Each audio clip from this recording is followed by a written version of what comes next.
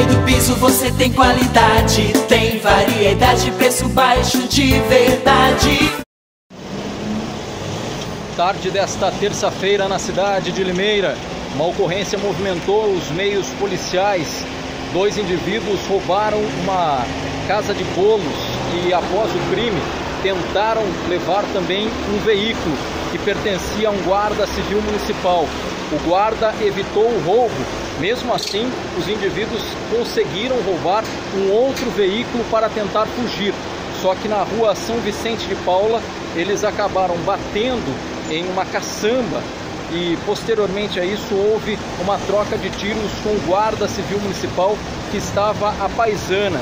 Depois disso, os dois miliantes ainda fugiram a pé pela rua Ceará e a ocorrência só terminou na rua Doutor Francisco Ferreira da Rosa, quando eles entraram nesta casa em construção.